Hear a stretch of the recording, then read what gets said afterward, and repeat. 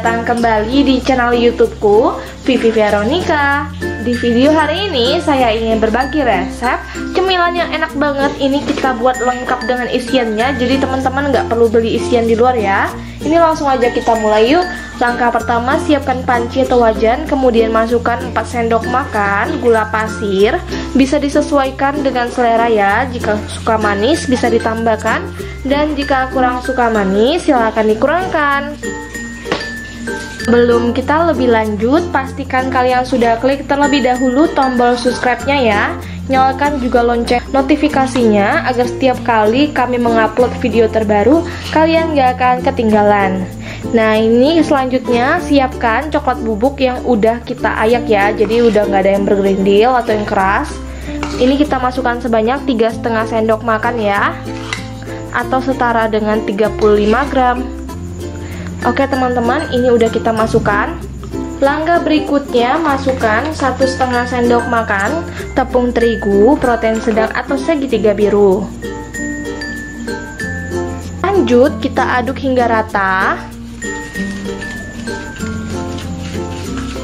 Setelah sudah cukup rata kita masukkan susu cair ya.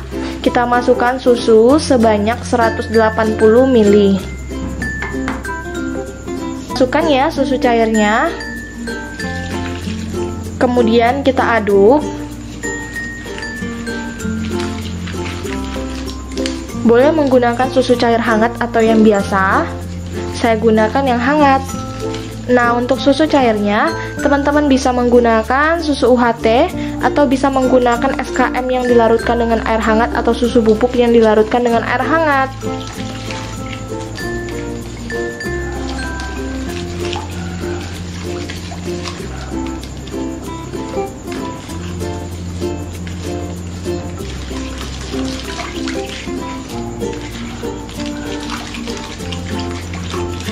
Nah selanjutnya kita akan pindahkan ke atas kompor. Hidupkan kompor menggunakan api kecil cenderung sedang.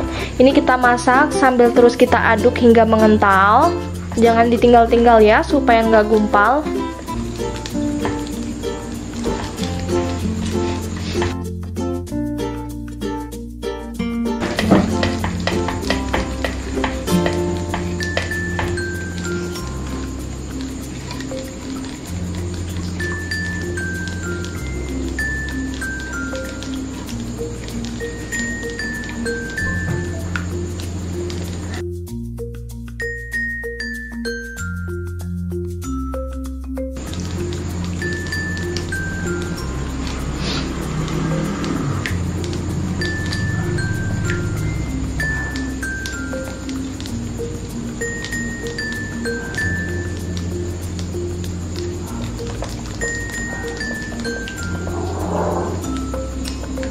Nah ini udah mulai mengental sedikit.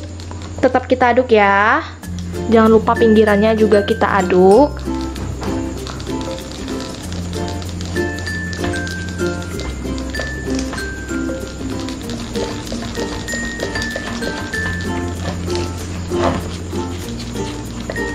Nah ini udah meletup-letup. Matikan Setelah sudah kita matikan, sekarang kita tambahkan margarin. Masukkan 1 sendok makan margarin ya. Jadi nanti biar lebih lembut dan juga gurih.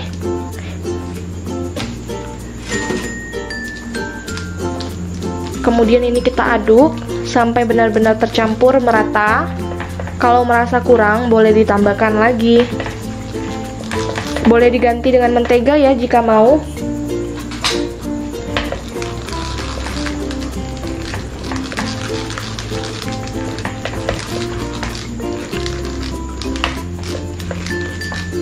Kemudian ini kita sisihkan, biarkan hingga suhu ruangan. Sekarang kita akan siapkan wadah yang terpisah seperti ini. Kita akan buat adonannya ya. Masukkan 100 gram tepung terigu protein sedang atau segitiga biru atau setara dengan 10 sendok makan. Langkah berikutnya agar lebih nyoklat di sini saya masukkan 1 sendok makan coklat bubuk ini udah saya ayak ya coklat bubuknya. Lalu kita masukkan atau tambahkan 3 sendok makan gula pasir atau sesuai selera. Jika suka manis, silahkan ditambahkan ya.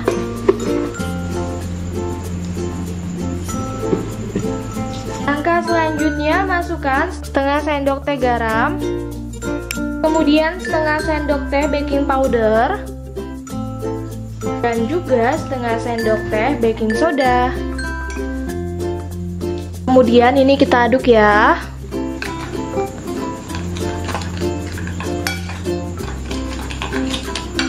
Setelah itu kita akan masukkan susu cair sebanyak 150 ml.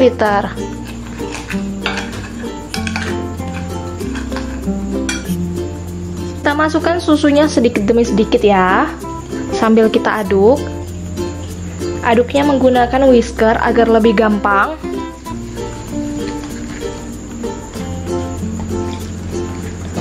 Kalau menurut teman-teman kekentalan bisa tambahkan air lagi atau susu.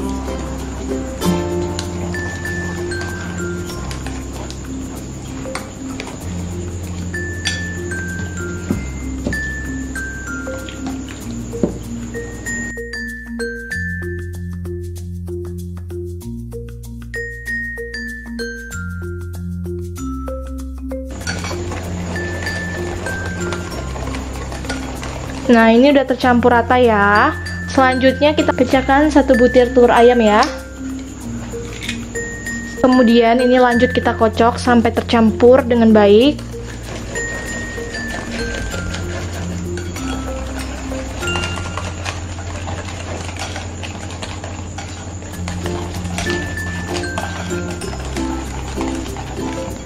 Nah jika sudah seperti ini Langsung aja kita saring untuk memastikan tidak ada lagi yang bergerindil.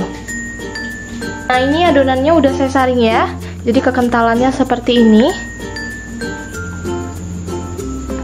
Jika sudah, ini udah boleh kita masak.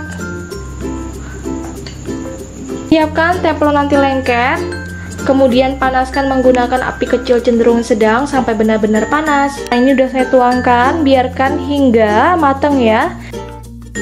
Dan kalau bisa semuanya harus bergelembung atau berbuih seperti ini. Kalau udah matang, udah boleh kita angkat ya. Siapkan talenan ya, kemudian ambil satu lembar browniesnya yang udah kita masak. Ini akan kita gulung browniesnya. Kemudian kita beri selai yang udah kita buat secukupnya ya ini enak banget selainya ekonomis dan pastinya enak banget super nyoklat boleh ditaburin dengan kacang, seres, ataupun polosan, ataupun keju juga boleh ini kalau polosan seperti ini ya ini kita gulung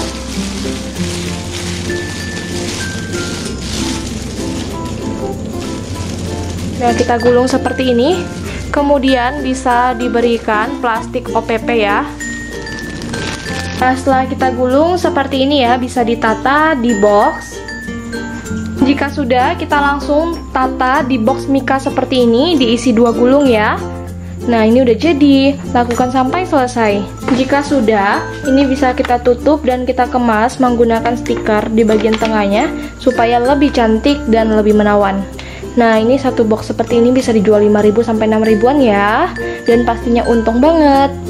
Nah, terima kasih sudah menonton video YouTube dari kami. Jangan lupa subscribe, like, komen, dan share ke teman-teman kalian semuanya. Sampai jumpa kembali. Semoga kalian suka ya. Selamat mencoba. Ini dijamin luar biasa enaknya.